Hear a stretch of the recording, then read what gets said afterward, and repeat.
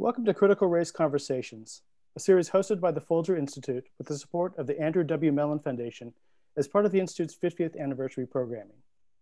I'm Owen Williams, Associate Director for Scholarly Programs at the Folger Institute. We're delighted to gather so many friends, old and new, for these conversations. I'd like to take a moment to introduce the series and our session leaders for today's event. This series of free online sessions features scholars who are offering new insights into the prehistory of modern racialized thinking and racism.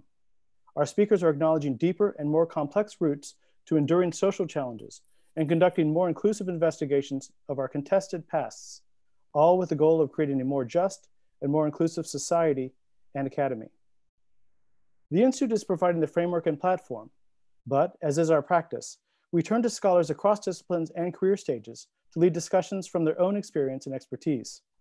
We recognize that we should allow others who are more knowledgeable about the field of critical race studies to create the conversations.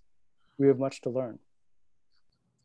In these critical race conversations, we are actively experimenting with new technologies and new ways to foster dialogue and present content, just as so many of you are in your own classrooms. For this session, we are foregoing YouTube's live chat feature. Our speakers welcome live tweeting with the hashtag FolgerCRC. We remind you that this session will be recorded and posted on the Folger's YouTube channel as soon as it is processed, with closed caption enabled, and a transcript will be uploaded next week. Please contact the Folger Institute with any questions or concerns.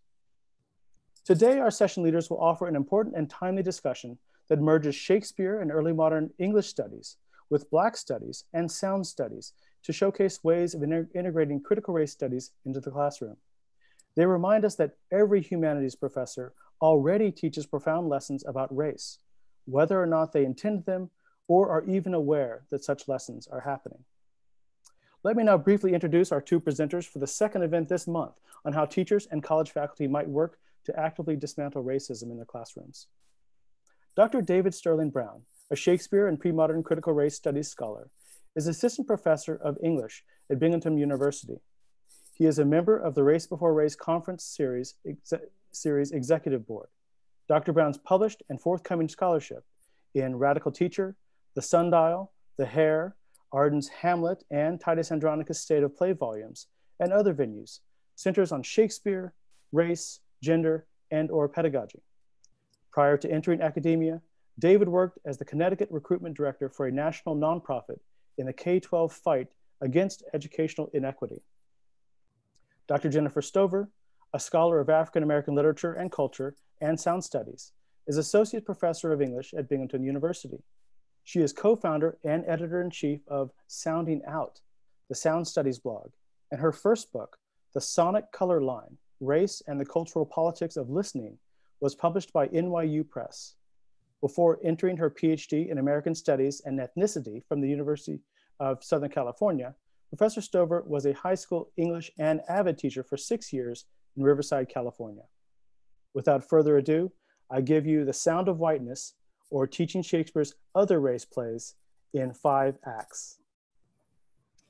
Thank you for that introduction, Owen. And thanks to the Folger Institute and the Folger Shakespeare Library, the Mellon Initiative in Collaborative Research, and all viewers, and to our colleagues, Dr.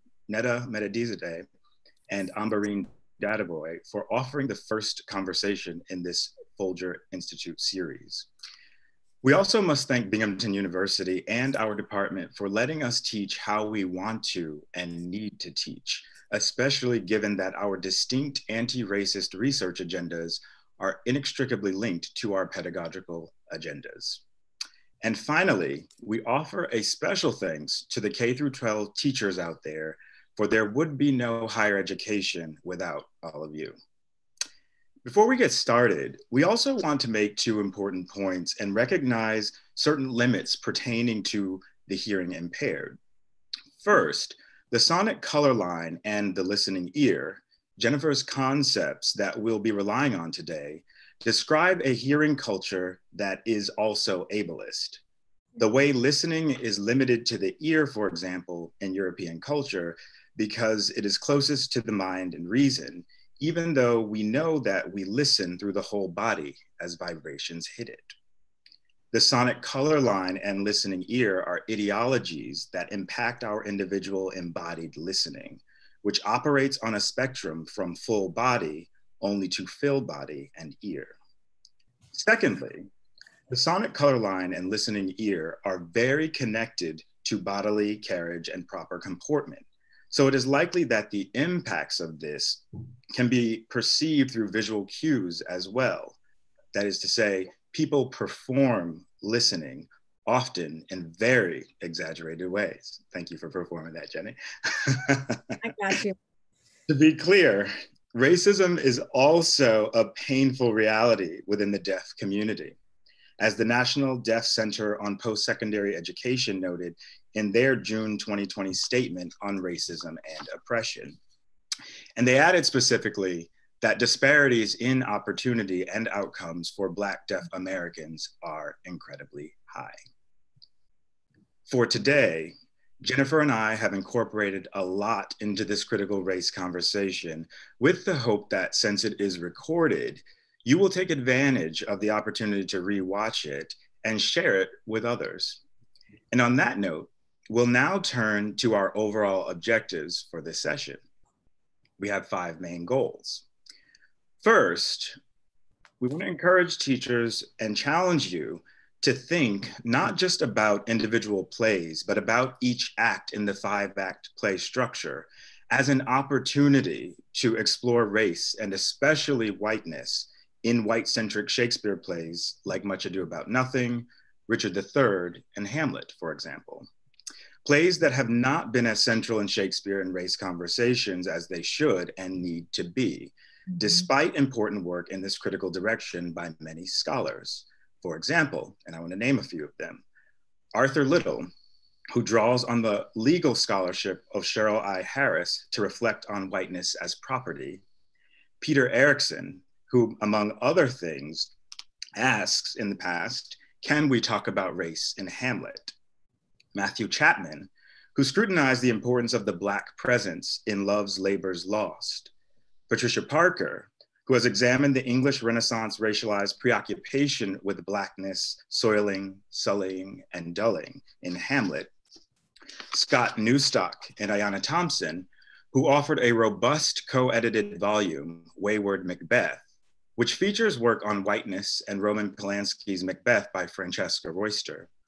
And of course, Kim F. Hall, who in her first book, Things of Darkness, deployed Black feminist methodologies, explored the fetishization of white skin, and boldly demanded that the field take seriously the critical interrogation of whiteness. 2020 marks the 25th anniversary of Hall's path-breaking study. And so Jennifer and I will use this session in part to answer Kim Hall's 1995 call. For this kind of Shakespeare and pre-modern critical race studies scholarship must be centered more frequently. And the centering of discussions about whiteness must be normalized by all pedagogues, and especially book presses and journal editorial boards, as argued for in the Race Before Race Executive Board's recent call to end publishing gatekeeping. Much is at stake with respect to understanding the invisible workings and history of whiteness, white supremacy, anti-Blackness, and racism. As these histories, coupled with the realities of now, significantly affect all students. Another goal of ours is to showcase how Shakespeare and critical race theory are complementary and to suggest concrete methods for how teachers can consciously, consistently, and conscientiously offer lessons about race in relationship to sound, the latter concept having been explored by Bruce R. Smith in The Acoustic World of Early Modern England, Gina Bloom in Voice in Motion, Staging Gender Shaping Sound in Early Modern England, and in a 2010 special issue of the journal Upstart Crow titled Shakespearean Hearing, and that's volume 29. Race stands not apart from, but as an important part of the sound and hearing conversation. I suggest as much in my article, The Sonic Color Line, Shakespeare and the Canonization of Sexual Violence Against Black Men. An essay in the Sundial that offers examples of how to apply Jennifer's sonic color line ideology in the pre-modern context. As Shakespeare's plays present us with racialized soundscapes that prompt us, as Bloom suggests, to reflect on the materiality of sound. Why does sound matter? And how is sound matter? This critical conversation is a program of action. Thank you, David, for starting us out um, and for that wonderful introduction. We have a couple more goals. We're going to work on reinforcing the power of empowerment with respect to student learning and racialized authority in the classroom. Um, one of the things that white professors in particular should be more self-reflexive about is our unearned authority at the university and the classroom. And I say unearned here because I'm not referring to our educational credentials, achievements, abilities. Those are of course varied, but rather the immediate assumption of belonging and the quite literal command of the room that is structurally granted to us simply by inhabiting our bodies in the space. I'm rarely taken for a, a student, for example. Um, while differences in gender, class, and sexuality temper the force of this unearned ideological authority, everyone white has some kind of access to it. In a society structured by white supremacist ideology, whiteness comes with the force of the state behind it, and therefore the expectation of automatically being listened to. Um, whether or not we're teaching Shakespeare, but especially when we're teaching Shakespeare. Why is that? What unspoken lessons about race do our bodies teach? What can Shakespeare teach us about how such unearned power came to be and how we can dismantle it? What possibilities for teaching and learning open up when we're aware of our racialized bodies um, in the classroom? And rather than reinforcing the lessons that they teach, those unspoken ones, how can we work to empower students and dismantle that unearned authority? We're also going to reflect on how sound is racialized today, how race is both a visual and aural phenomenon, as I note in the sonic color line, and to think about Shakespeare's plays, even individual acts and scenes, as racialized soundscapes. And we'll talk about what a soundscape is, where sounds have invisible, racialized, and critical power that, that kind of gives us the, the affect and feeling and making of race. Um, you know, that's what creates white people in white spaces. It's the making and performing of race. And we're going to show you that today. Finally, our final goal is to help teachers think about pedagogical prep so that you are ready to hit the ground running with your students on day one. Both David and I have a lot of pedagogical training and experience at multiple levels, secondary school, public and private universities. We know how important it is to start class with strategies in your pocket to begin this work. So let's begin the work. Um, let's go. What do you say, David? I say, let's get to it. So, right now, uh, you should be seeing our front slide, which has a phrase that was part of the description of our talk. Um, quiet as it's kept, every teacher already offers profound lessons about race. And the question that we want you to think about um, and also give you ideas to help you think about is how do you do it? Mm-hmm. And so among other things, the five act structure of this critical race conversation is meant implicitly to call attention to the notion that race is performative, as Margo Hendricks suggests in her essay, Gestures of Performance Rethinking Race in Contemporary America, an essay that gestures toward the sonic color line.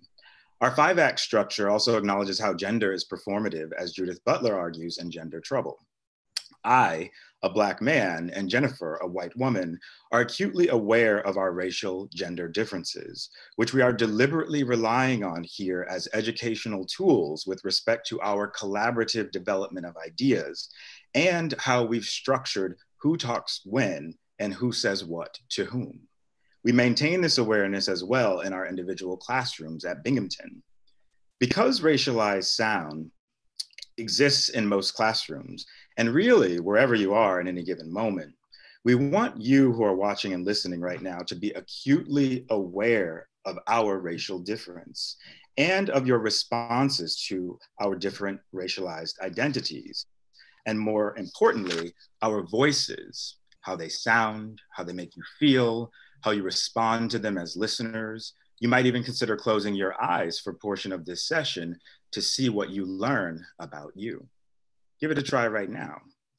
Are you resistant to my Black voice, which is not emitting from a white body and therefore not the norm with respect to Shakespearean authority? Are you more willing to give Jennifer that unearned authority she just spoke of because she is white, despite the fact that she is a scholar of African American literature? Does my masculinity complicate your response to Jennifer's white female voice? And does our crossing into each other's respective fields, as we'll speak later, disrupt the assumptions you might have about the scholarly knowledge we should have. And to echo sentiments expressed in Eric DeBarros's article, Teacher Trouble, Performing Race in the Majority White Shakespeare Classroom, is society's ambivalence about the Black teacher scholar at work for you right now or at any point during this presentation? If the answer is yes, it is good that you have mm-hmm. recognized you have a serious problem. Mm-hmm. Now you must think about solutions. For if you are ambivalent to the Black teacher scholar, then what are the implications there for your Black students, for example? To further subvert certain expectations during this session, Jennifer will speak on Shakespeare and I will speak on African American literature at times. This is all deliberate. Thus, this is an opportunity to consider the intersections of our various identity markers and how they resonate with you as you listen. This critical race conversation is an opportunity for you to slow down and think about how race happens and to listen to yourself listening. This particular act, Act One of our conversation, the exposition, is designed to get you thinking about Shakespeare and race outside of the usual categories, namely the so-called race plays, as Ayanna Thompson has put it, and introduce you to some other ways of thinking. Okay, um, well, we are going to, to interview each other a little bit before we move on to let you kind of into and have some insight into our practice. And I wanna ask you, David, um, colleague, in 2013, you first began consistently integrating Shakespeare and race in your teaching through a course that you created called Early Modern Literature, Crossing the Color Line. And this course is really, is really cool. Um, it combine, you, you know, I think unique, and I hope after this talk, maybe, maybe less so, combining the study of early modern English drama and African American literature. Why did you create this course? Good question. So in 2013, I joined the faculty at Trinity College in Connecticut as the Ann Plato Predoctoral Fellow in English. Um, and Trinity's Educational Policy Committee made it very clear that they wanted me to create something that was um, innovative, at least for the curriculum at Trinity, for instance. Um, and much like I do with my teaching now at Binghamton, I had pedagogical latitude at Trinity. And I reiterate that point because I know that teaching what I teach and how I want to teach it is a privilege of being at the kind of institution that we are at. Mm-hmm. Um, however, I'm also not naive to the fact that there are cases where instructors have that latitude but choose to perform helplessness and say that they don't have the time. So, having studied at Trinity as an undergrad, and remembering the experience that I had of being the only Black student in my Shakespeare class, I worked backwards from that great but uncomfortable undergraduate experience. And I thought about how I could use my course description and syllabus structure to attract a diverse group of students as I recalled that as an undergrad, my African American literature and Black women writers classes were much more diverse. And I imagine you probably see much more diversity in your classes than I do in my Shakespeare mm-hmm. class, for instance. Mm-hmm. Um, how could I duplicate that and preemptively solve the racial homogeneity problem in my Trinity classroom as a teacher? This was a matter of marketing for the student audience I wanted. And so mm-hmm. part of the answer was in combining the study of early modern English drama and African American literature. And the other part was framing the course as one whose methodology integrated the personal, critical, and experiential pedagogical choices that led to 50% of my students being students of color.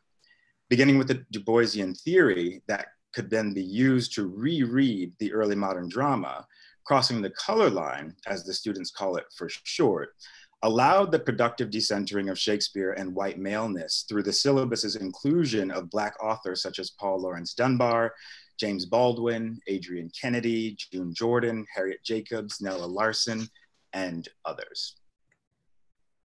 So building from that, obviously whiteness matters in a course built around Shakespeare. How did, how did it, whiteness factor in for you here?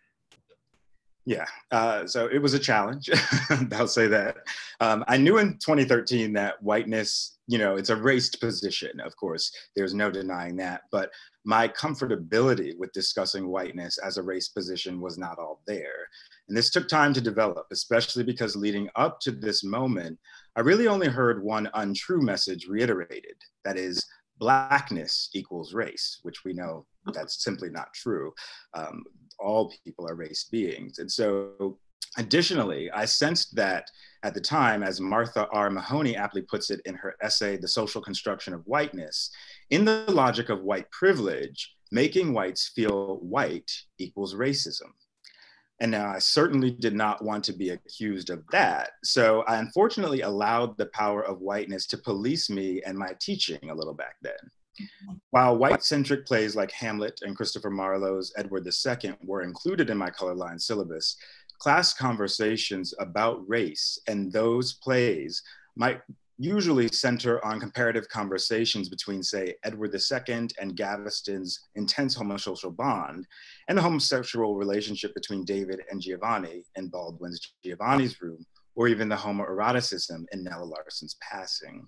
In other words, the chats oscillated between race and gender, with students not really wanting to stay in the former category.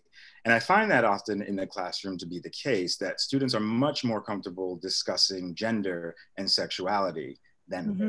or even the intersections of those things. Yes, me too, me too. Yet, especially because 2013 was the year that Black Lives Matter uh, movement began, following the 2012 murder of Trayvon Martin, my students were willing to identify Black tropes and stereotypes or call out the horrors of anti Black racism and that enduring legacy, but by focusing mostly on the victims rather than the perpetrators.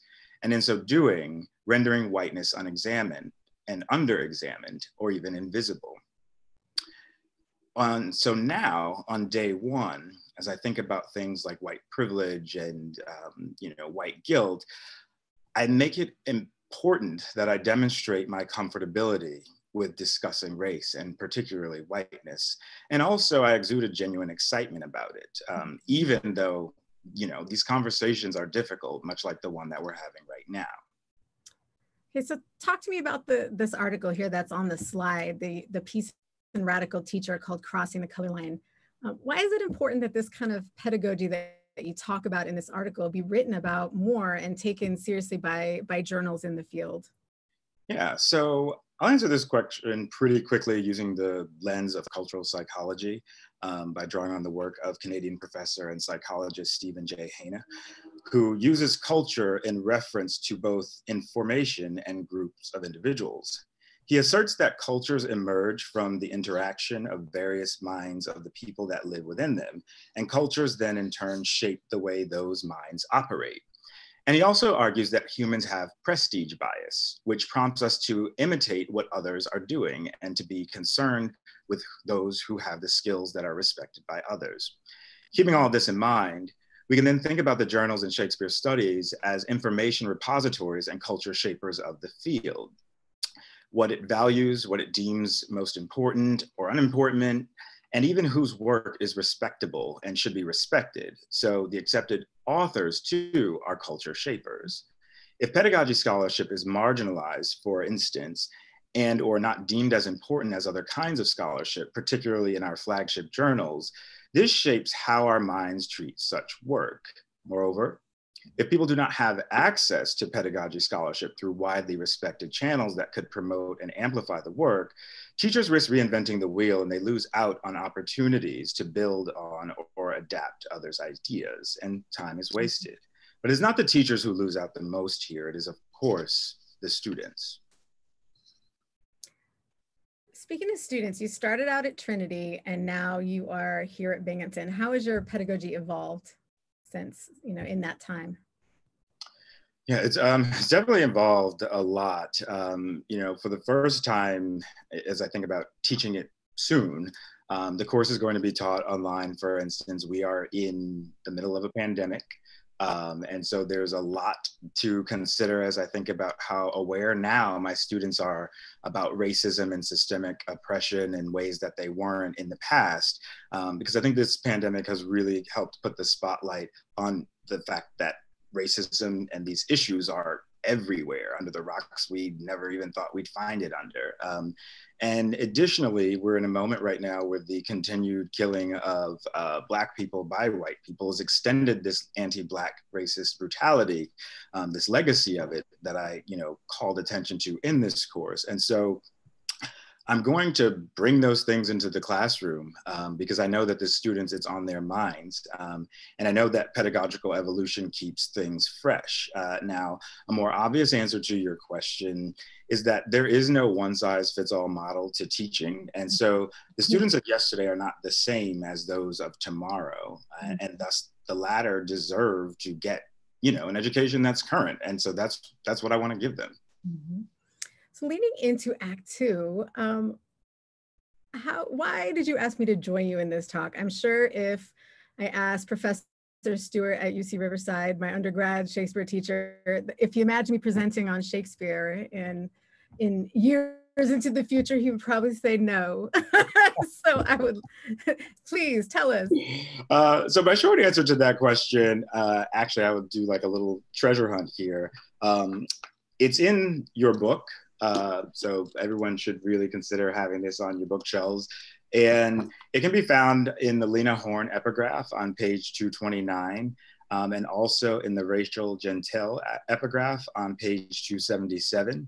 Um, but on a more serious note, uh, you know, as a Shakespeare scholar who was heavily influenced by W.E.B. Du Bois's work, and not just his color line theory, but also his concepts of the veil and double consciousness, mm-hmm. um, which have applicability in the Shakespeare canon and beyond it. I invited you because I was inspired by your work, and I know that some of my colleagues are as well, um, and, and how it opens up another dimension for us to think about race, um, particularly through sound. And so I've applied your work in my own, as I know others have. And moreover, like other Black thinkers and artists, such as James Baldwin, Suzan-Lori Parks, Maya Angelou, for instance, Du Bois directly calls attention to Shakespeare and uses Shakespeare's pre-modern cultural capital to bolster his own statements um, in his text on global and uh, American racial politics. Um, and so with that in mind, Jennifer, you know, your work helped me understand that when I read Du Bois's words and when I encounter so much more in the world, I hear all that comprises Du Bois's blackness, the pain, the striving, the violence, the struggle, and even the hope. And on that note, a positive note of hope, let's transition into Act Two. So Act Two, of course, presents the rising action, the intensification of the matter at hand. And our Act Two uh, is, offers an oral flipping of the script, where we're gonna move from the sound of a white woman's voice asking questions of a black man teaching Shakespeare and race to the sound of a black man's voice asking questions of a white woman teaching in African American studies and race. How does this role reversal sound to you? How might each interview amplify the other? How do they defy our expectations of these voices and any automatic authenticity or authority they signal? What also intensifies the action here is the introduction of a critical race theory toolkit that you can use to discuss race in your classroom, both in conjunction with Shakespeare and in terms of analyzing the classroom atmosphere itself. Okay, thank you for that introduction. So now I want to kind of dive into thinking about your work and, and your book. Um, you know, your introduction uh, to you, Owen mentioned that you taught high school for seven years before going to grad school. And what prompted you to become an academic, particularly studying race and sound? Ooh, well, that's a long road. I'm going to give you quick, relevant details. Um, I taught high school in my hometown. I taught for six years, fresh out of college. Um, I am first and a half generation in college. I'm the first on my, my mother's side. I am my, my dad went to community college, Army, and finished up at Cal State Fullerton. I, I was really, really young. I love teaching high school. The students, as anyone will tell you, are the best part of the job. Um, and the classrooms in Riverside I taught at were more diverse in terms of race, ethnicity, religion, um, home language than any college classroom I have, have ever taught in. Um, I got an amazing, amazing education at UC Riverside, one of those educations that, you know, changes your world. I graduated the same year in fact, just a month after the uprisings in Los Angeles in 1992, only only six, 60 miles, um, Riverside's only 60 miles from LA. So I went into to college like a lot of young white people right now with, with questions about my complicity in the racial system, how the racial system works, what is the racial system. And, you know, I started and was able to, to, to begin that work at, at UC Riverside. So when I went into teaching high school, it also i expected to be teaching students all of this material that we had been kind of you know essentially robbed of and lied to about in a lot of our public education but i ended up continuing to learn a whole lot about structural racism in the classroom and you know i was also an avid teacher which meant that i was an advocate for students underrepresented in college to help them you know complete their requirements. The high school i taught at guidance counselors 600 um, 600 students to one counselor. So um, people were falling through the cracks, um, and especially students of color who are first gen to go to college. But in that, becoming an advocate for these students and helping them with their classes is also, you know, they're getting kicked out of, of classes for for being noisy or loud when they come to me, Miss Stoever, I'm just working on the work. Like what what's happening? Um, and Kennedy Johnson, uh, a PhD student at Bloomington is doing a lot of work on um, Black girls in the, in the secondary classroom right now. Great project. And so I was seeing that firsthand and going through that. And then in, I talk about this a little bit in the acknowledgement to the book in um, 1997, uh, close, a close, someone close to me, James Martinez, was shot in the back um, by the crash gang unit um, in, in Home Gardens, California. And less than a year later, um, Tyisha Miller, one of the first students in the high school class, my very first class I ever taught, was killed by Riverside police, shot 12 times as she was passed out in her car, just about a mile from, from my parents. Um, and those, those murders were devastating and upsetting and uh, on, unsettling on a deep level. And I felt really powerless as, as an individual in the classroom and going to graduate school, particularly studying race and ethnicity at USC. Their program was started after the 1992, um, the 92 uprisings. And that was where I wanted to be. I wanted to understand, I wanted to enact change on a, a deep systemic level. So that's partly how I ended up, you know, going to graduate school. I actually went to study representations of students of color in public school. The, the example from the reading, Du Bois, um, when the, the white girl turns away his, his visiting card, that was one of the, the, the scenes that I talked about in my grad school application. And when I got there and began studying music um, as well and popular culture and uh, taking uh, TAing for a course called Black Popular Culture with Judith Jackson Fossett that opened my world to thinking about um, this question about sound and in, in, connection with, with race in this way. Nice. And so you, you mentioned, you know, the word power and powerlessness. Mm-hmm. Um, you seem to absorb a lot of power from Du Bois. And so I'm wondering if you can talk about how his work influenced you um, and, and also how you build on his concept of the color line in your book, The Sonic Color Line. Du Bois is one of the foremost intellectuals of in of United States history. And reading him, I read him the first time at UC Riverside, and I've just read him, you know, tens of of, of uh, times over and over again.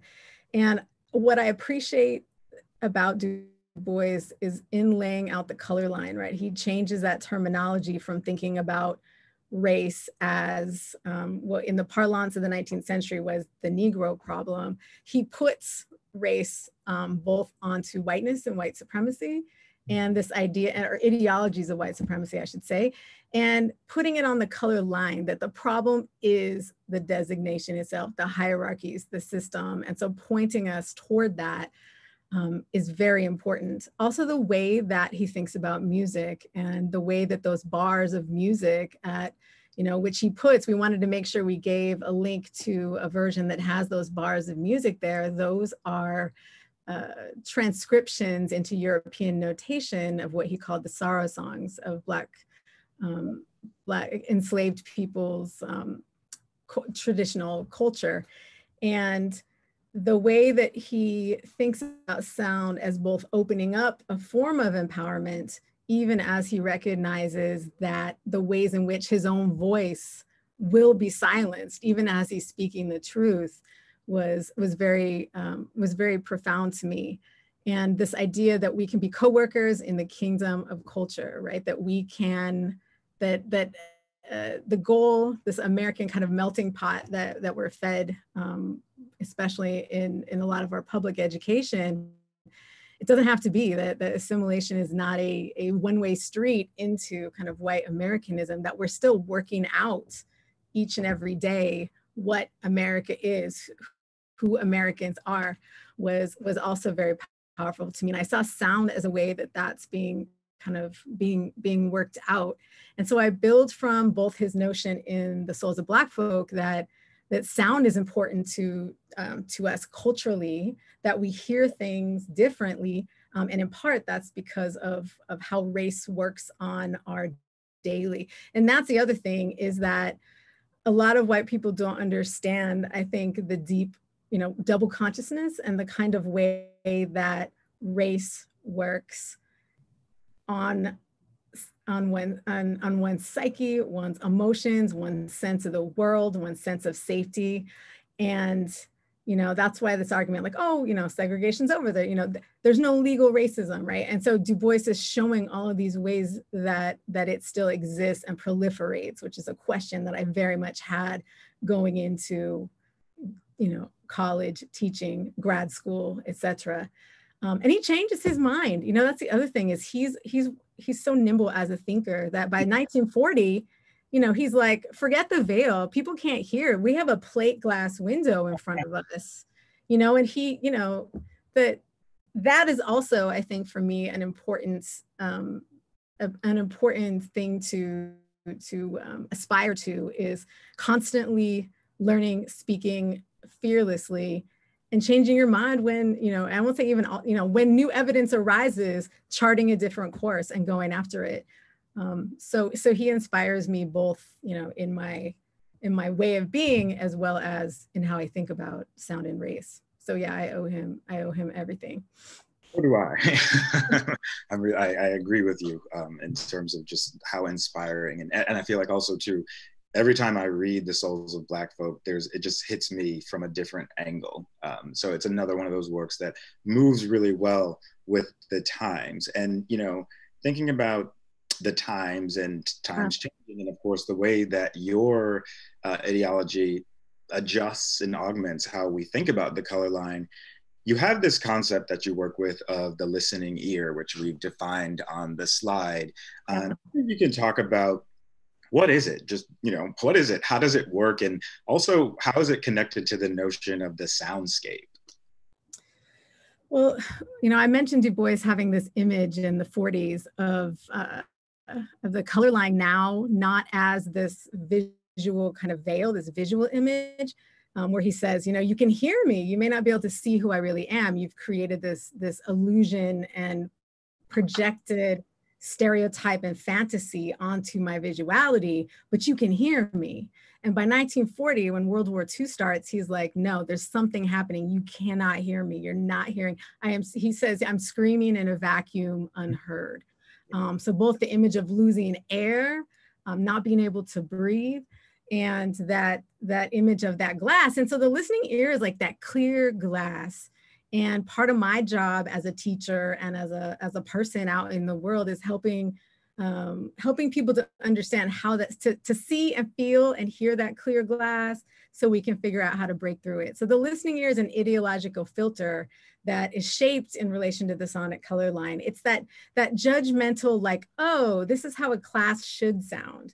It mm-hmm. should sound quiet because that signals students are working um, that that Americans should speak English, that it's that should, right? That we have all these complex experiences of sound and how it works and what we think, but then we we narrow it. Um, uh, and also the notion that right certain neighborhoods this is where soundscape builds in right that that white suburban neighborhoods are are quiet whereas black neighborhoods or neighborhoods of uh, people of color are loud. And it's these binary elements of race that you know after the civil rights movement became um, you know taboo uh, to to kind of you know well until recently um, to be for white people to be overtly racist in public sound was a, a code. And this idea of the listening ear became a code. It's not that um, you know we don't hire black people here. It's that you don't speak properly on the on the telephone at this job. You're you don't sound professional. And so these these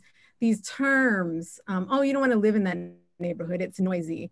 Um, and so i noticed that sound was operating in these covert ways. And, and john Baugh calls it linguistic profiling um, and also i build i should say i'm building on the scholarship of fred moten who was on my committee judith Jackson Fossett, who's also on my committee um, you know, Krista Mariah, Jonathan Sterne, Carter Mathes, Eric Porter, like all these folks, Pris Priscilla Pena Ovalle, all these folks that are calling attention to the social construction of race.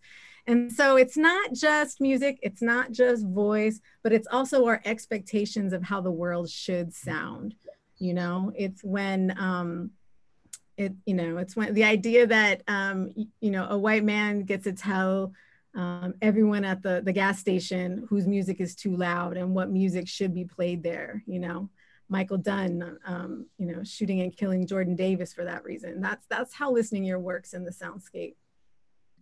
And what is the soundscape, just for folks? Oh, so those are the sounds, the ambient sounds you hear in a particular location. You know, one of the exercises I do with my students is I have them list the soundscape of the classroom on the board and then we talk about the hierarchies that are in there we i mean it's everything from you know the sound of pencils scratching to the hum of the air conditioner to the professor's voice. And then we rank them in order of importance. I'm like what, what's the sound that's most important in this room? And, and inevitably they'll say the professor's voice. And they have this all the way listed down. And so we're trained to to index sounds. You know we act like all this comes at us but we these filters shape you know how we're how we're listening and inevitably my students never mention their own voices.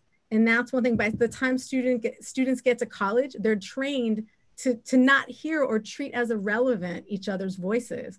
Mm. um, and you know we're trying to have these deep conversations but you know they're already trained to tune that out from each other. And so a lot of our work today is going to be how to how to undo that. So that's how soundscape works thank you for that. Yeah, and you know what you say about voices, hadn't really ever thought about it in that way, just in terms of how students are trained in a certain way to think about how to use their voices in certain spaces and and what that can mean. Um, and I guess that actually is a nice segue into Act Three, where we're going to talk about uh, Shakespeare and the racialized sound of masculinity and authority. So for us in this act structure, Act Three is our turning point in this conversation as we shift the focus directly onto Shakespeare. And on this slide, we have two very different images of Shakespeare. One we might consider a pre modern reflection on the left, and one on the right that is more modern. While both images are powerful in their centering of whiteness and masculinity, they do so quite differently. For me, for example, the pre modern Shakespeare, with his early modern attire, evokes a classic traditional authority, whereas the more modern, cool looking, tatted up Shakespeare, whose pose mimics and appropriates the b boy stance that originated with hip hop culture, conveys a sense of authority that is much less intimidating than the image on the right, despite both images being of the same white man. In either image, authority is gendered and it is also racialized depending on who you are, you may be more intimidated by the Shakespeare image on the right. Is it his tattoos, his sartorial pre modern departure, or perhaps it's his Black racial signifying that makes him too much like or unlike whatever your mythical idea of Shakespeare is? The varied responses that people will have to the visual power of these two different images reflects what can also occur in the classroom with respect to how students respond to and engage with pedagogical authority figures who differ in many ways, especially with respect to race for the purposes of our conversation. And since the classroom is a space of mutual engagement, it goes without saying that instructors should be attentive to how they respond to students' different racial backgrounds as well. For in those responses, as we allude to at the beginning of our talk, lessons are being taught consciously or unconsciously about race and power.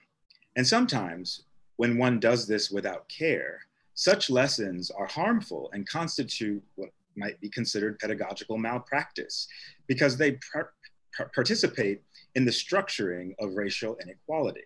Mm-hmm. To quote Ruben Espinosa from his article, Diversifying Shakespeare, to foster a classroom atmosphere where students can be confident makers of Shakespeare, where they do not see their background, language, or cultural heritage as an obstacle to understanding Shakespeare, but instead as an asset, is essential.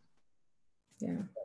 If Othello and the Merchant of Venice are the only moments in a course when race enters the conversation, consider who that helps and harms.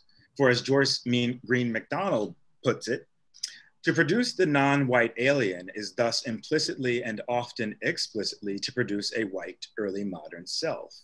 With that in mind, it is misguided to think that a play alone can teach race. Othello and Merchant alone cannot teach race. Teaching is the teacher's job. So, we're going to talk a bit here about power and empowerment. You know, who has the power in the classroom? Who is empowered? And I mentioned a little bit earlier about one of the things that Du Bois did was to change the terms of the debate um, about race. And for close readers out there, Easter egg, right? He likens the issue of race in America to Banquo's ghost from Macbeth, um, invisible, but only due to the invisible only because of the suppression of a guilty conscience. He says, In vain do we cry this to our vastest social problem. Take any shape but that, and my firm nerve shall never tremble. Um, so in, you know, to change the terms of the debate, right? So he says, you know, it's the color line. Black people are not the problem. The hierarchy is the problem. He even hyphenated color line so that color could never be broken off from line, that it's never color that's the problem. It's its attachment to this line. And that's something I fought with my book press about that hyphen. I, I lost, as you can tell, but um, I really, you know, I, I do that in my own practice. Um, Black people's presence is not the problem. White people's racial hierarchy isn't the problem. And this holds true in our classrooms today from K through 12 to, to higher education. And so how does power in the classroom work?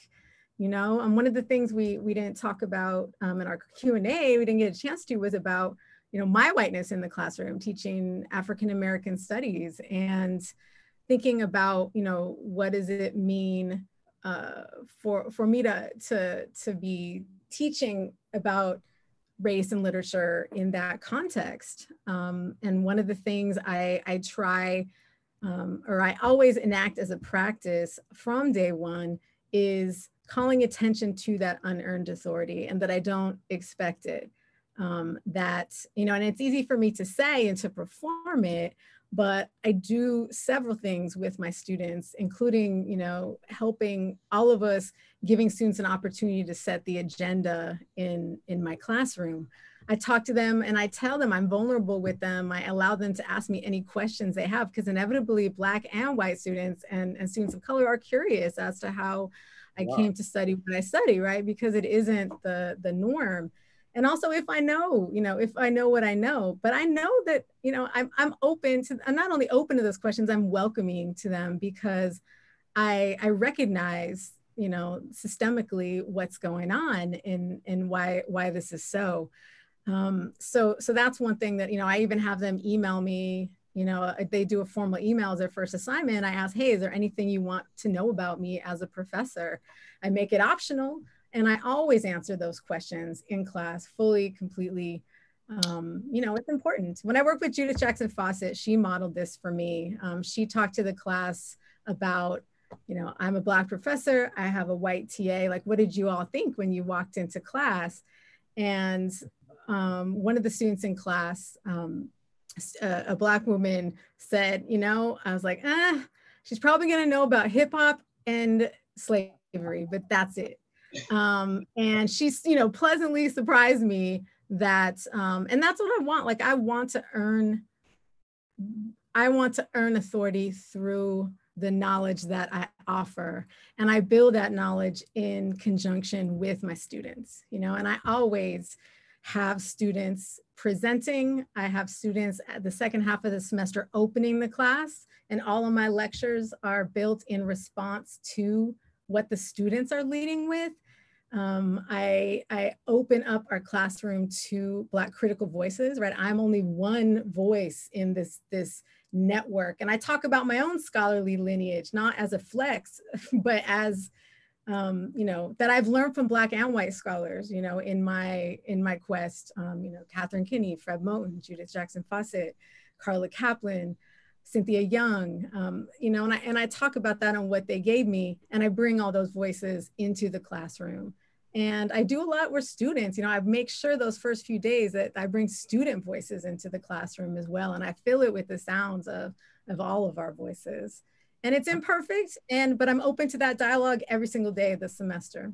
I think that's so important, um, that recognition of all of the student voices. Um, that's yeah. something that's really important for me too. And so I mm, it, it's kind of a mission that I make for myself. Um, you know, by a certain point in a semester, I don't care if it's a 50 person classroom, I need every student to say something before that they need to be involved in the class discussion. And if they're not, I do offer other ways for them to do that, you know, online or having dialogues with me. But I think it's so important. It's not their, you know, oral voice at the very least. I'm mm-hmm. hearing their writerly voices because they're communicating with me in that way. And I think, you know, seems like we, we have a lot in common. And we've talked about this um, in terms of our teaching approaches.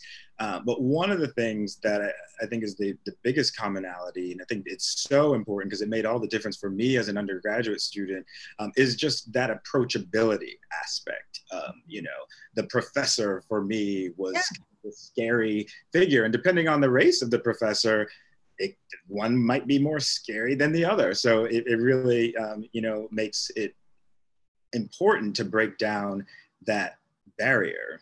Um, I went to office hours in undergrad exactly one time, and only because the professor, and it was Catherine Kinney, wrote, "Please see me during office hours" on my paper. And I make it a habit to do that myself every semester and write, please come see me. And not in a, th- it wasn't a threatening, it was like, come see me to talk about, have you thought about grad school? It said, yeah. um, to think about how that small, and I hadn't, um, I didn't even know what grad school was. And so for her to, to do that, I mean, it's why I'm here. Yeah. So, you, you know, know small moments can mean so much. Um, I think on that note, we probably need to transition into our intermission. Yes, it's time to, to stretch a little bit so as you continue thinking about race, sound, gender, authority, and all that we've explored thus far, we're gonna have a brief intermission to pause our black and white voices and introduce some new voices into the conversation. We're gonna show two video clips. The first is really short, so you gotta like pay attention right on the jump. And the second is about four minutes. If the visuals do not appear completely clear on your end, I'm sorry, we're all familiar with this Zoom issue.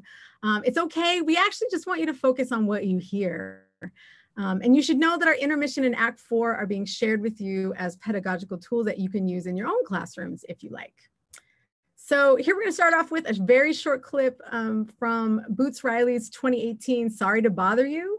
And it's it is a whole entire entire mood this movie. Um, but i'm going to say really quickly among the many things that this film does is trace the daily life of cassius green a black man in his 20s in oakland played by lakeith stanfield who's also from riverside. Um, who's he's also he's trying to get a job in this film and get out of his uncle's garage. And he gets a job telemarketing at a company that's very symbolically named regal view um, and he's had a terrible first few days and here in this clip, his coworker, played by Danny Glover, encourages him to use his white voice on the phone to become a power caller. Um, the film delves into whiteness as a performance for white people, um, not just you know, not just this kind of imposed sound for people of color, but white people perform whiteness too. And that's exactly what, you know, we're getting at an aspirational, empowered, desirable sound. And it is one that is as much of a fantasy as white people's imaginings of, of Black sound.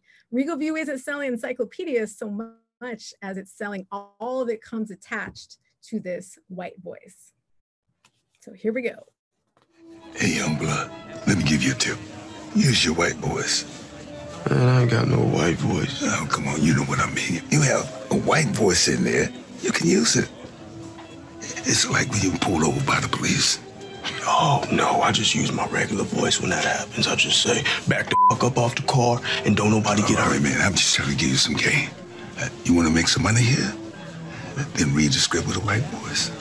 When People say I talk with a white voice anyway, so why ain't it helping me out? Well, you don't talk white enough. I'm I'm not talking about Will Smith's wife. I'm talking about the real deal.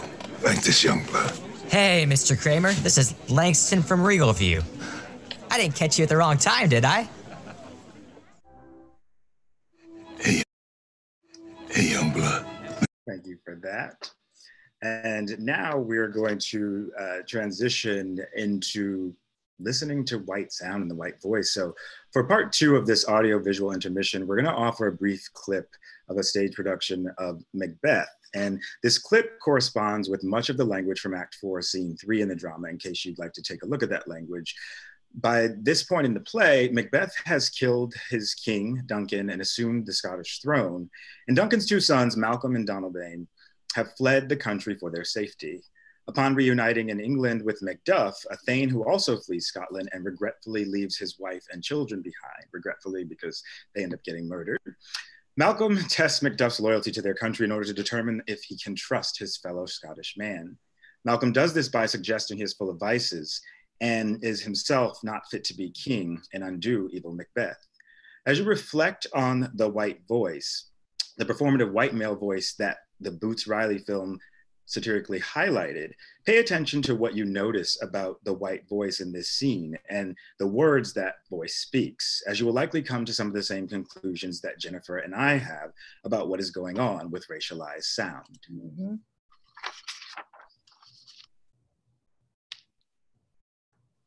Suffer and more sundry ways than ever by him that shall succeed. What should he be? It is myself, I mean, in whom I know all the particulars of vice so grafted that when they shall be opened, black Macbeth will seem as pure as snow. and the poor state esteem him as a lamb being compared with my confineless harms. Not in the legions of horrid hell can come a devil more damned in evils to top Macbeth. I grant him bloody, luxurious, avaricious, false, deceitful, sudden, malicious, smacking of every sin that has a name. But there's no bottom, none, in my voluptuousness.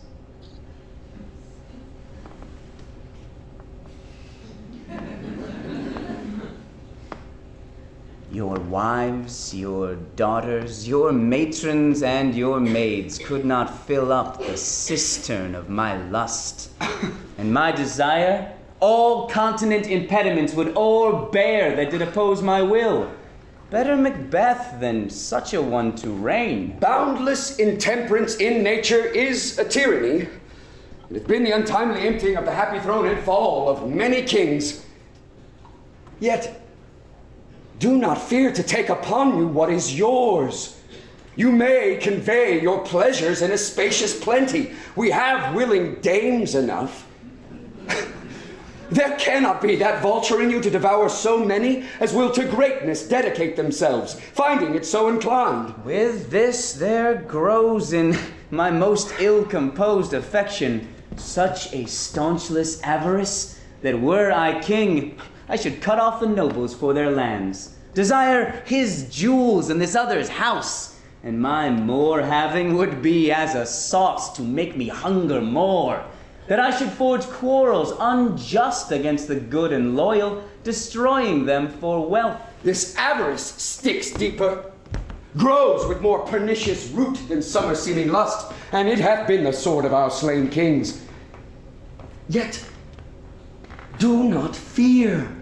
Scotland hath wealth enough to fill up your will. All these are portable, with other graces weighed. But I have none. The king becoming graces as justice, verity, temperance, stableness, bounty, perseverance, mercy, lowliness, devotion, patience, courage, fortitude. I have no relish of them, but abound in the division of each several crime, acting it many ways. Nay, had I power, I should pour the sweet milk of concord into hell uproar the universal peace, confound all unity on earth. Oh, Scotland. Scotland! If such a one be fit to govern, speak. I am as I have spoken. Fit to govern? No, not to live. O nation miserable, with an untitled tyrant, bloody sceptred, when shalt thou see thy wholesome days again, since that the truest issue of thy throne by his own interdiction stands accursed? These evils thou repeatst upon thyself have banished me from Scotland. Ah, my breast, thy hope ends here. Macduff! This noble passion, child of integrity, hath from my soul wiped the black scruples, reconciled my thoughts. All right, and we'll stop it there with black scruples, um, but you, you get the point of what's going on in this scene. So for Act Four of our presentation, we turn explicitly to the falling action in Macbeth and an excerpt from Act Four, Scene Three. In a Binghamton graduate course, I had my students do a critical race scene isolation that asked them to close read specific all white scenes, like the wooing scene in Richard III, while using our theoretical race studies tools to examine all that is racialized about the dialogue. And with some modifications, this is an easy exercise that could work well at the undergraduate and even high school levels. This particular Macbeth scene, Act 4, Scene 3, which I critique in an essay that will appear in volume 50 of a forthcoming Shakespeare Studies Forum, co-edited by me, Patricia Akhimie, and Arthur Little, uses the negative trope of blackness to make a critical racialized statement about Black Macbeth, whose blackness is metaphorical or emblematic rather than somatic. Black Macbeth appears akin to the barbarian figure Ian Smith writes about in Race and Rhetoric in the Renaissance. This figure, he argues, is characterized as threatening and destructive to good social institutions, aggressive and politically dangerous to the survival of the state, corrupt and thus harmful to the assumed purity of the body politic, and deficient and different, and therefore destined to undermine every cultural tradition. Indeed, Macbeth lives up to all the symbolic blackness he exudes. And in her incredibly generative 1996 Shakespeare quarterly article, Beauty and the Beast of Whiteness, Teaching Race and Gender, Kim Hall reminds us that the difference between textual blackness and black people is fundamentally important. And as a side note for those watching this before July 31st, 2020, Hall's article is available for free download until the end of this month. Simply Google it and you'll be able to download it.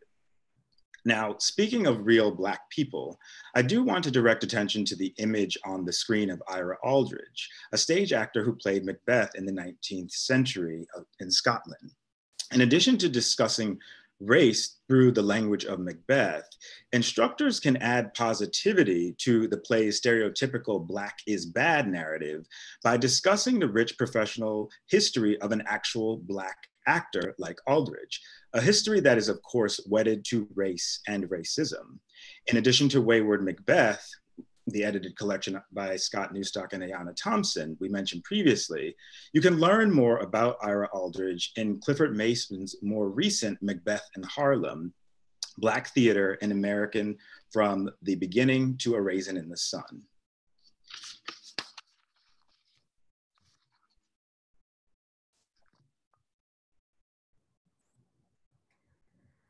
But it isn't just the overt references to blackness um, that that um, David just just analyzed for us. It's also the soundscape, and I will talk briefly here about you know the, testing the theory of how the sonic color line works and how race um, in this time period, particularly ideas, European ideas about race, particularly in connection to imperialism, the enslavement of, of Africans, um, and you know building the so-called new world of the western atlantic you know they're using sound to to work out and build race and they're and shakespeare uses sound in this play to evoke ideas about race. They're not just sound effects um, as we might think of them now especially the thunder the thunder and the way that the thunder in the play and is associated with the witches and that space of the um, the wilderness, right? And it's this, this hierarchical border, a sonic color line being built between white civilization and this dark and tempting wilderness and wildness. Um, thunder's out of the control of humans. It's louder than any sound at the time human beings could make. It, it's the sound of this wild and unruly space of the forest. And you know, the word hurricane comes into the English lexicon in 1555 in direct reference to the Caribbean.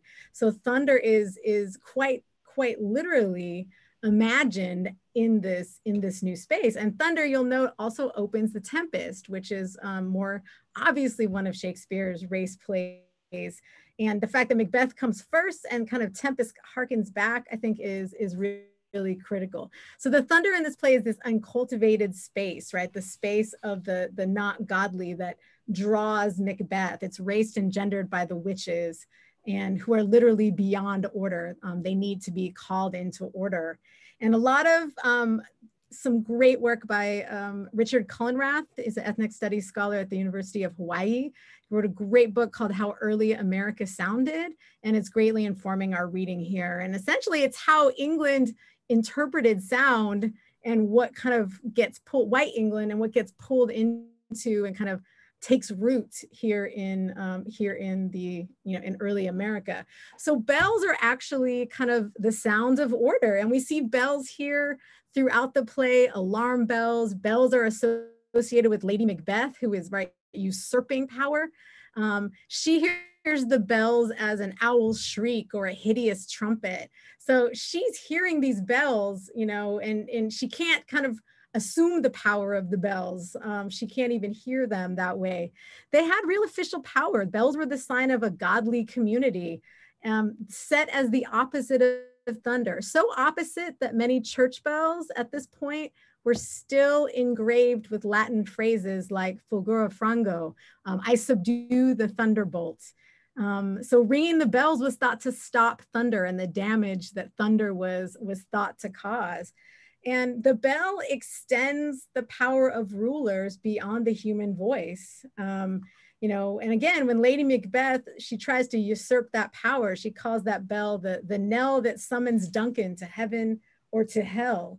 Um, and so that that's really critical, that interplay between the bell and, and the thunder in this play and the way that the thunder is also bringing in the other and the, the, the temptation, the danger of the other, and really comparing it to and kind of hierarchizing it below the sounds of the order of the court. And this whole play is about the restoration of the order of the court, right?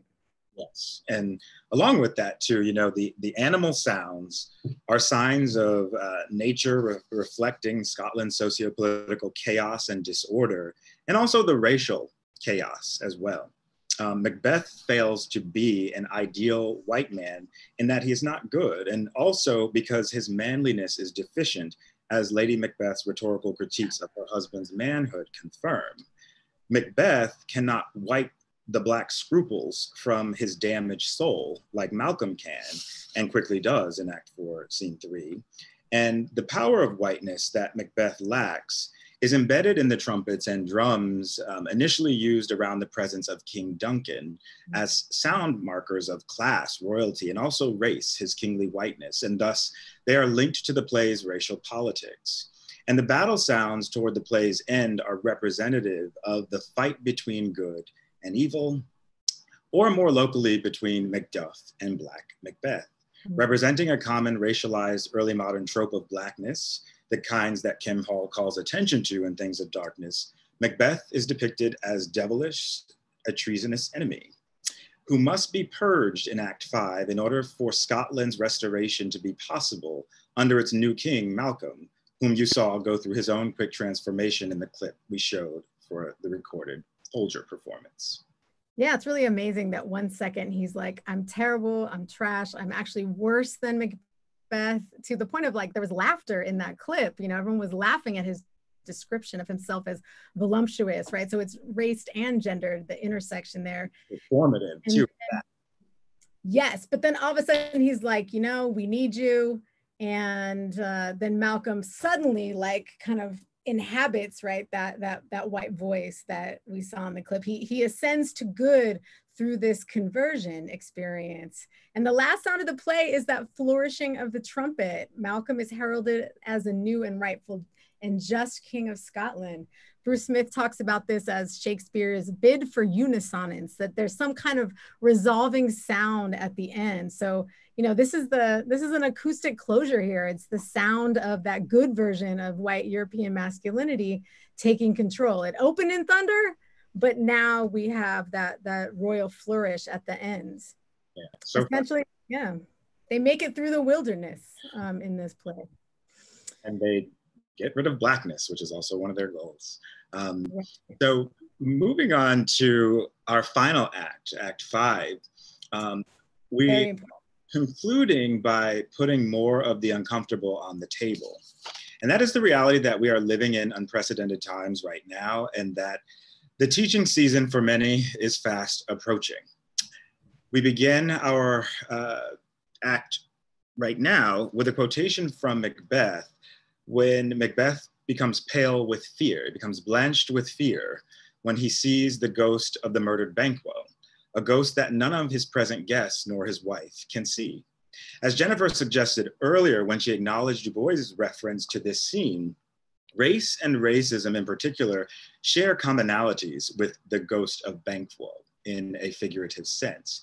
They can be uncomfortable to confront, but they have to be confronted.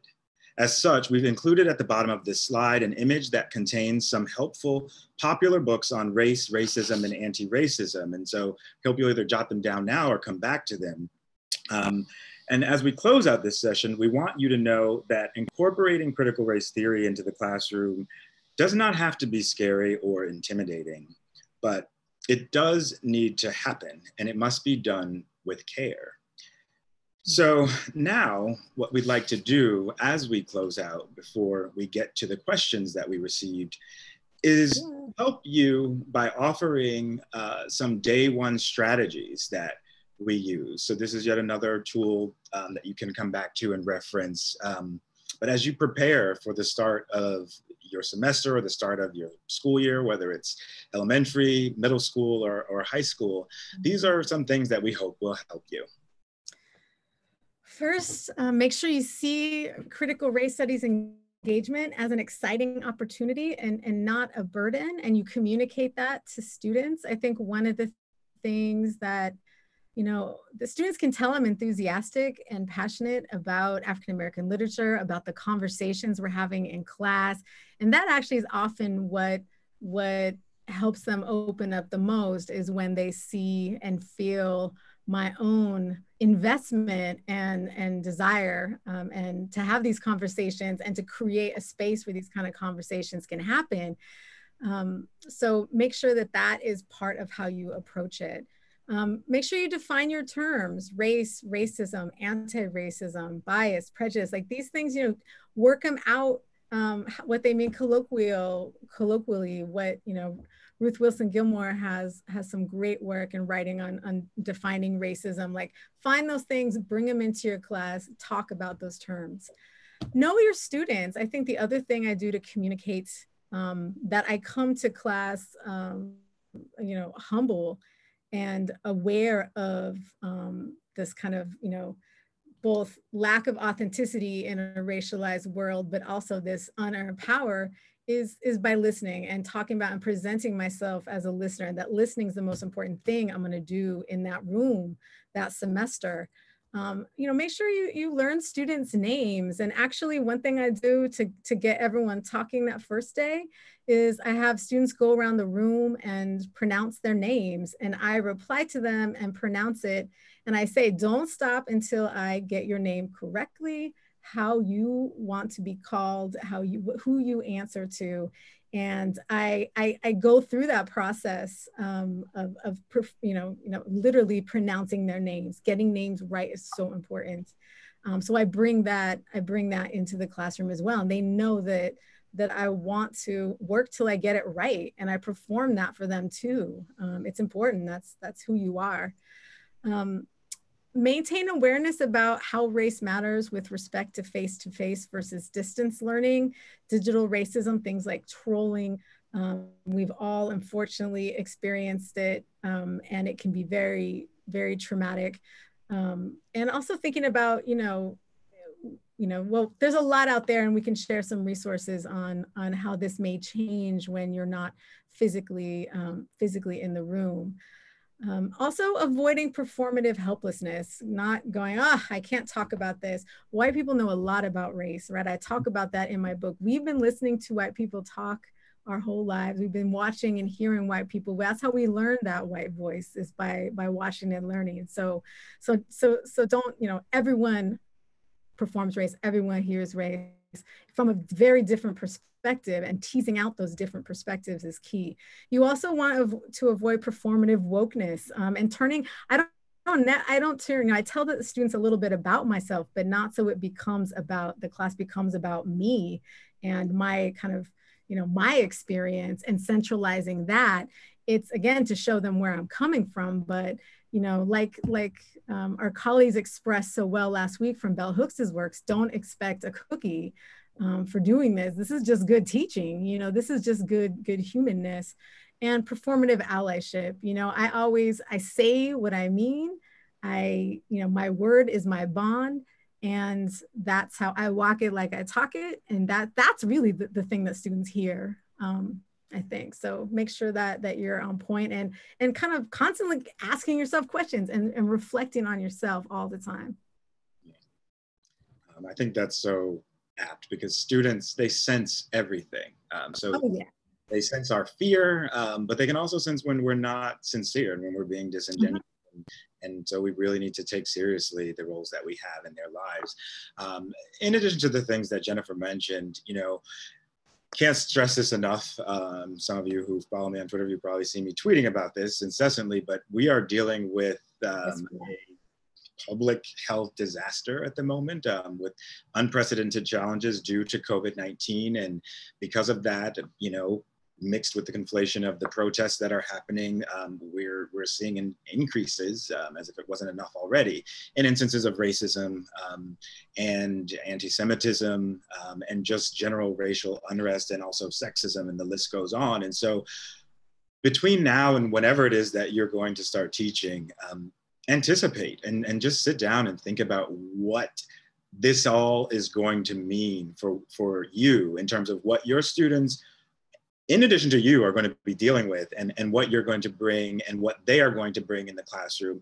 And how can you make that work for you rather than you having to work against it because it is this kind of oppositional force? Um, that's something that i really try to do in my teaching is, is make the world around me work for me um, because it's there. And students are only spending 85 minutes in my classroom so they're going back out into that work that is a world that is doing far more work than i'm doing for them in 85 minutes.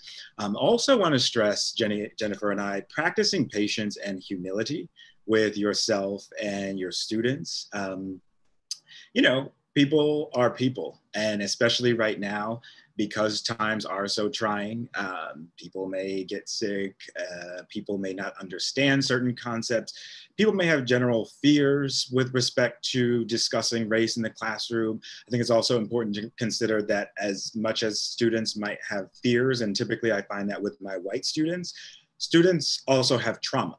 Um, and even I, as a Black male professor living in this moment, have trauma that I have to manage and deal with. And so, as much as you can put yourself in your student's shoes and and be sensitive to those things, um, that can really go a long way, uh, particularly from day one. If you make your students aware that this is how you operate, um, and and this is who you are, and this is how you're presenting your pedagogy and also how you're defining your professional relationship with them. Mm-hmm.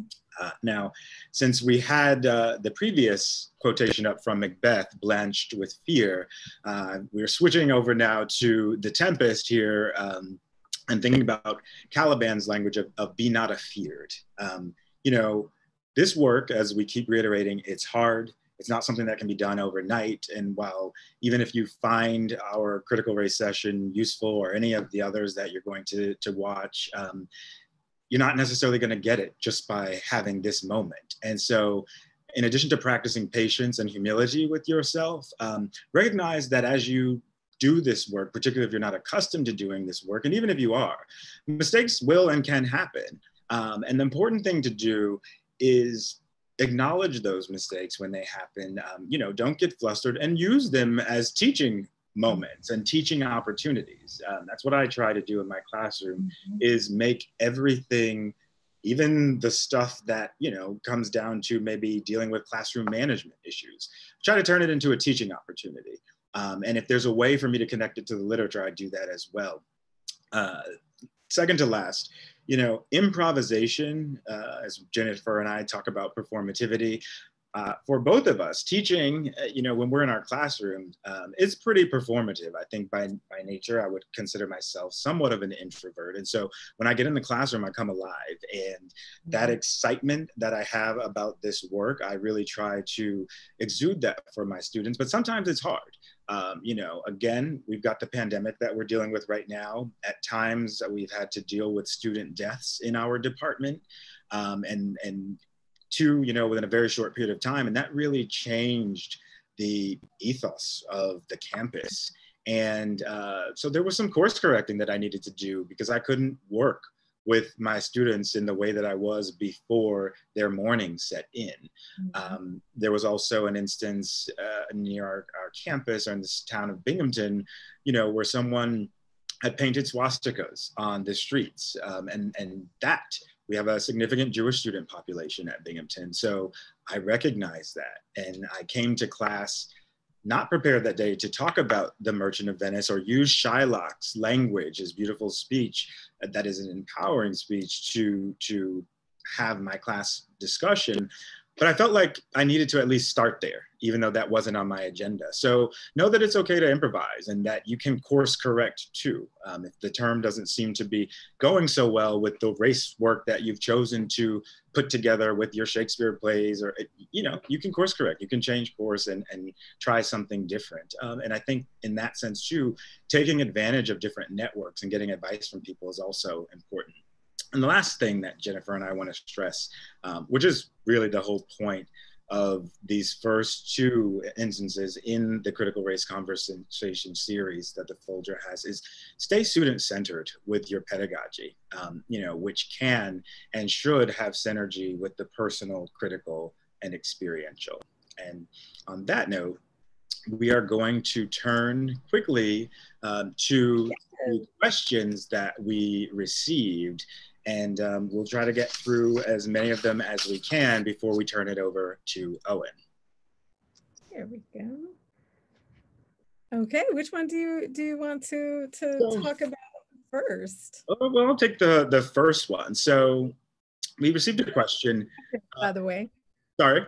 I was just thanking everyone for the questions. Oh, yes, yes, definitely. Thank you. These questions are, are great.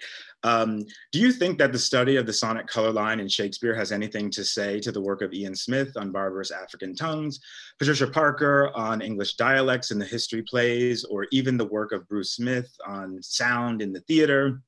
And so to that, I'll just say, you know, um, we certainly do. Um, you know, we we leaned on or cited, referenced uh, Ian Smith earlier in this talk, and also Bruce Smith um, engaged with his work. So read all of this work, um, and you should read other work as well. and make that work work together in the classroom. And you know, since Ian Smith's uh, book was mentioned, which um, also another one that you should think about having.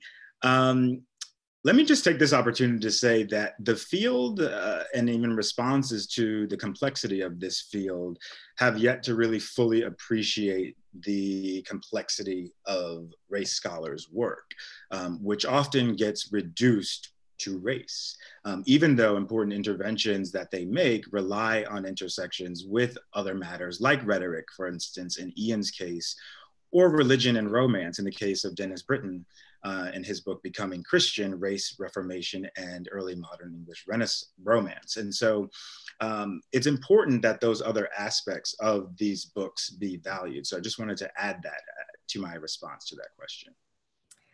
I, okay, um, I'm going to build on that um, and kind of combine some of the sound questions into one. We got three questions about sound. One about the question of, of hearing as racialized and how that might help us speak back to critics of um, BIPOC um, performers of Shakespeare. We got a question about the special insights that sound in performance provides us versus the visual or written representations. And then we got a question about, again, about racialized sound. And it says that, you know, one of the things that was striking in the introduction to my book is, is deconstructing the scream as a universal sound. And I actually look at and think about the ways that um, Black women's and white women's screams and how they're heard and, and processed um, in the, the media and uh, politically, et cetera, that, that there is no universal reaction to these, these gendered and race screams. And this person asked about kind of, says there's a well-known essay about Hamlet that focuses on the pure utterance beyond language at his death. Oh, oh, oh, for instance. How do we get from the early modern play playtext to these interpretive range of possibilities to vocalizations in plays? Are there other examples we could, we could look to? So three really good questions. And um, for hearing is racialized and, and some great work on thinking about Shakespearean accents and the, the you know, in Ocampo Guzman's work that was in the Colorblind Shakespeare volume, which is also great.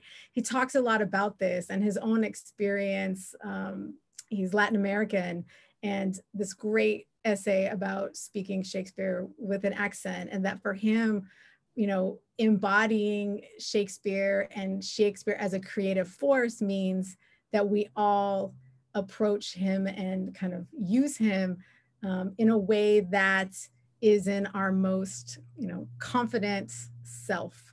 Um, and however that sounds, that it isn't about this, you know, kind of false sense of, of authenticity um, in, in the work. And so I really recommend, um, really recommends that, um, his reading of that and his questioning of that, that accent. In terms of other works, um, I am sure, like, and we, we try to demonstrate how this sonic analysis might work, especially in terms of, again, soundscape and the work that that does, the world making. In video games, they call that worlding, right? How these sounds create the world. Who's listening to them? Are, does class make a difference? Does, you know, even right now, you know, as we pointed out, we're not all hearing the same things. And the more that you can you know, ask what are some other interpretations to this? How might other characters in the play have heard this, um, depending on their social position? That might be a way to, to play with that. Yeah, and um, I guess I'll take the last two questions. I'll try to truncate my uh, responses to them. So yeah. someone asked another good question. Um, you know, Du Bois identified education as one of the qualified successes of the Freedmen's Bureau in the Reconstruction period. Can you discuss the pros and cons of using Shakespeare as a way to extend this project and potentially bridge the high school college divide? And so Du Bois deploys Shakespeare as cultural capital tool, which I've mentioned and Jennifer has mentioned as well. But for me, he also weaponizes Shakespeare in his work for his majority white audience. But yes. really, he's weaponizing that the weapon that he's using for himself against whiteness is Shakespeare. Um, so in the line, I sit with Shakespeare and he wins is not. Du Bois has the agency. It's not Shakespeare sitting with him. He is sitting with Shakespeare.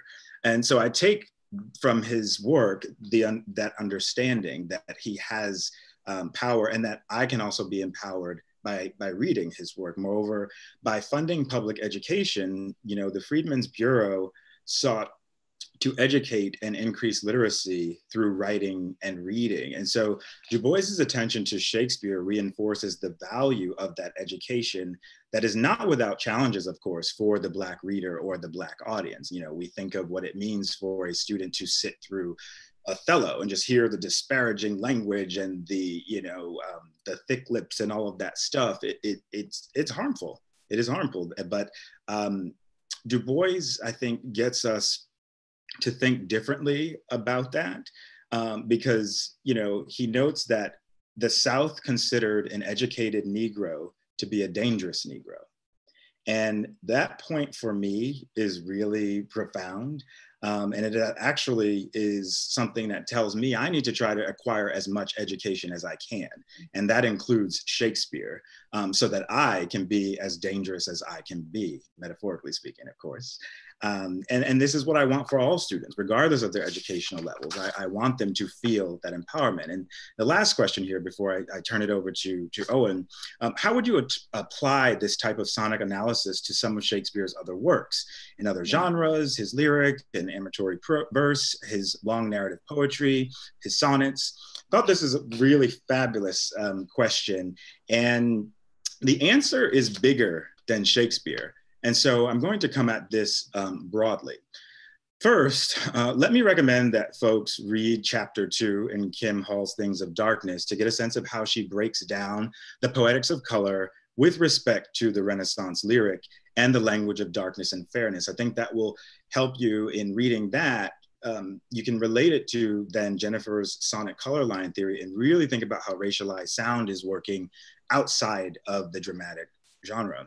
And even when they engage Blackness, um, these non-dramatic works center on whiteness. So the sonic color line becomes useful then when reflecting on the voice of the white male speaker, or especially when the poem might include the woman's voice, as Spenser does in Amoretti. In such moments, we are prompted to think specifically about the white man and the white woman and, and then we can move out from there to think about the how the power of whiteness is functioning. Mm-hmm. And on that note, um, I think we got through all the questions, so we will turn it over to Owen.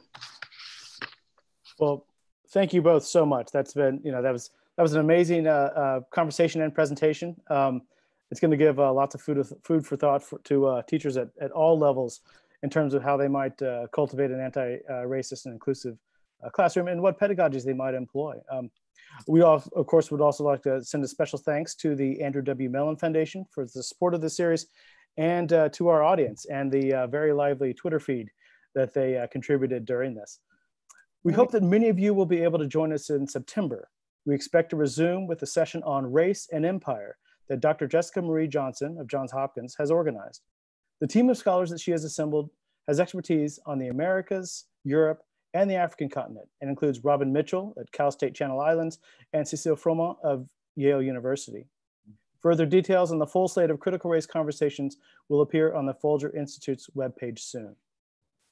We at the Folger Shakespeare Library thank you for your continuing support of our work with so many audiences, from K-12 educators and their students who are served by the Folger Education Division, to fellowships and advanced programming for graduate students and faculty run by the Folger Institute, to the award-winning productions of the Folger Theater. If you are in a position to contribute, we will be grateful. Our institution was founded on philanthropy, and your philanthropy will help us continue to support groundbreaking research and to share it with wider and more inclusive audiences, just as we did today. Now, as their final thought, Jennifer and David will sound off and sign off with a few lines from Keith Hamilton Cobb's groundbreaking play, American Moor, which uses Shakespeare's character Othello to explore the experience, frustration, and perspective of Black men. Perhaps as a complement to or substitute for Othello, David highly recommends instructors consider teaching this play, which contains an introduction by Professor Kim F. Hall. And now I turn things over to uh, turn, turn things back over to Jennifer and David, who will play the roles of the white director and the black male actor, respectively, from American Moor. Mm-hmm. Something else? Leap, and the net will appear. Pardon me? Um, yeah, Jennifer, before I jump into this speech again, may I? It is my sense that Othello has been this essential commodity to the Venetians for some time. And, uh, well, frankly, he is the only large Black entity in the room. He is aware that he comes at a premium to these men of the Senate and that he is unique, which is to say, I suspect that if he whispered his speech, the room would listen. And ending on that note, viewers, Jennifer and I thank you so much, tremendously really, for watching this critical race conversation and lending us your ears. We hope that you enjoyed the show. Mm -hmm.